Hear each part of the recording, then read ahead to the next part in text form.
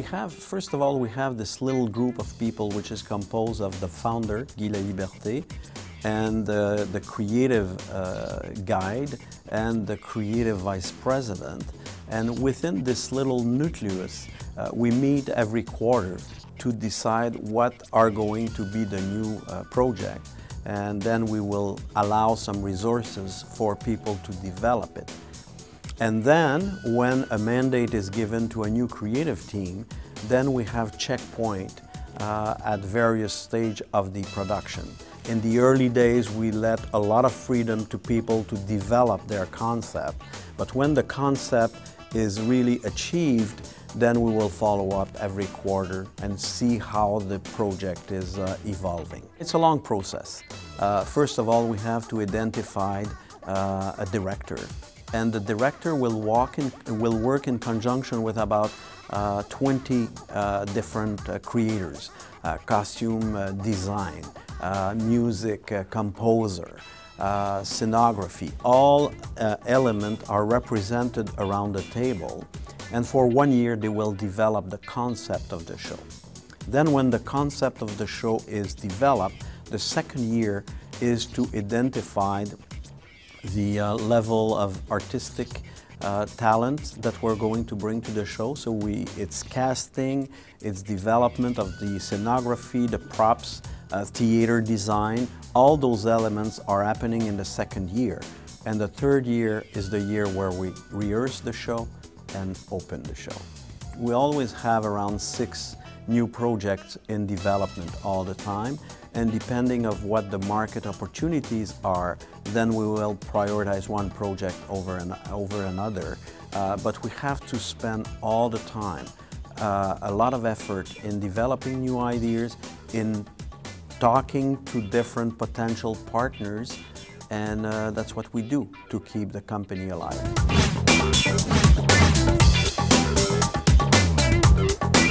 Uh, competitors are uh, everybody in the world of entertainment, everybody who, who is selling tickets. Uh, it could be a professional sports franchise, it could be the movie industry, it could be all sorts of entertainment. We are at the, at the, the uh, business base, we're ticket sellers. So we're competing with everybody who is selling tickets. In terms of content, we like to think that we're unique. Uh, I think people are afraid to push the envelope as much as we are. Uh, we uh, don't mind taking huge risk and therefore we have been able to create within Cirque a new category of show. If you talk to someone that is walking from one of our show and you ask that person, what have you seen? This person is probably going to start by saying, oh, it's not a circus show. No, it's not dance. No, it's not music. No, it's not video content. It's all of the above. And I like to summarize it by saying to someone, this is Cirque du Soleil. This is a new type of show that we have developed over the years and that remain today totally unique to us. Yeah, uh, first of all, uh, you know, this organization has very, very strong values. And my challenge was, and my challenge is still, to protect those values. Uh, the roots of Cirque is very, very strong, and we had to protect that because Guy had been able to develop an environment that has stimulate creativity of people. And as we are growing, it's getting more and more difficult to keep this level of freedom within the organization. And that's very, very important. And that's my challenge today. Yeah, it's a crazy environment. We have to remain in the mentality of clowns and artists, and, and we even have a clown inside the company that is working there just to remind us that's what we are. We're a bunch of clowns. And, and we have to keep this craziness because you don't create a new show in a boardroom.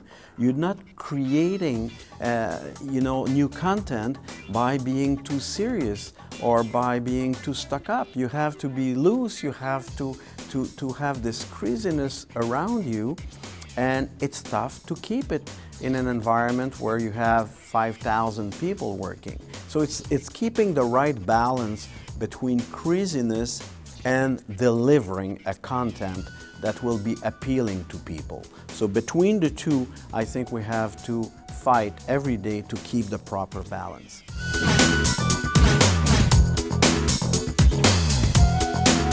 The Trend Group is composed of three women that are traveling around the world and surfing on the net all the time. And then every quarter, we would organize a meeting of all of our creators and those women are going to present to them what they have found. What are the treasures that they have found in the last three months? And then they will give us the new trends on the architectures, fashion, music, live show, TV, again to feed our creators. They have good experience and, uh, and, and more importantly, they're a good researcher. They're very, very curious people that are always on the lookout to find new ideas and also understand what kind of content they can bring to stimulate a creator. Because sometimes they will present one image and then the creators will click to something else, which is totally healthy and that's what we want uh, the creative uh, process to, to, to, to be happening.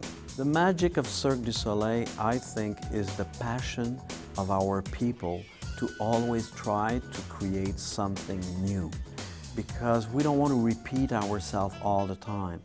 And it's very, very tough and it's getting tougher and tougher because the expectations of the public is very, very high. So it's very important that we're able to, uh, again, push the boundaries of our creativity.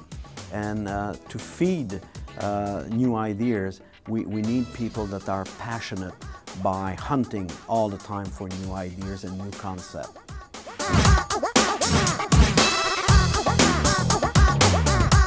I have the feeling that I have a mission today to uh, make sure that this organization will last forever. I know a lot of companies that have been successful for 25 years. We're in our 27 years and, and my goal is to ensure the future of the next 25 years of Cirque and that one day someone else will take it over and, and, and ensure the stability, the sustainability of the organization forever. And that's why I'm very, very passionate about because the more uh, the more the organization will continue to grow, the more artists I will be able to feed. And it's rewarding for me to see artists that now can perform and have a normal life and have a no, uh, stable salary, which is very, very difficult in the entertainment world. Uh, we probably uh, are the most important employer of musicians around the world. And uh, it's tough for a musician to have a stable situation. That's what we're offering at Cirque. And those things are a great motivation for me.